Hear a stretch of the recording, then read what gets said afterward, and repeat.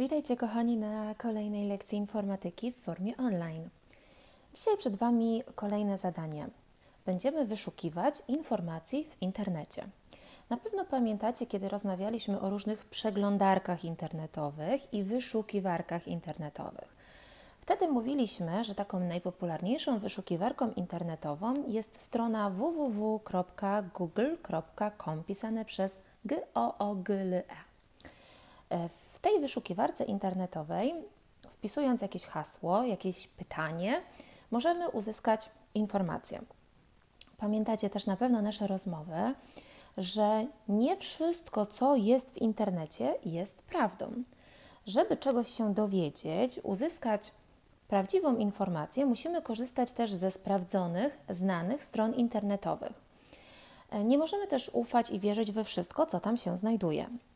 Dlatego dzisiaj dla Was przygotowałam listę 15 pytań. Znajdują się one w kroku drugim.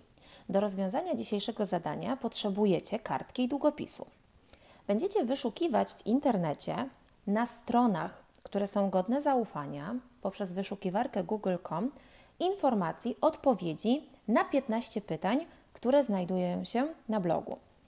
Zanotujcie sobie wszystkie odpowiedzi, a następnie w kroku następnym znajduje się interaktywne zadanie, gdzie będziecie musieli wykorzystać znalezione informacje, czyli tak naprawdę odpowiedzieć na to 15 pytań informacjami, które znaleźliście i zapisaliście sobie.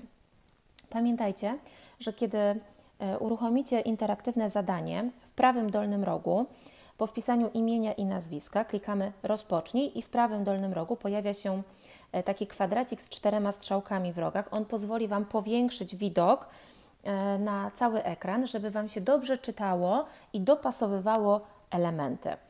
No więc moi drodzy, kartka, długopis i rozpoczynacie poszukiwania, bo szukać każdy może.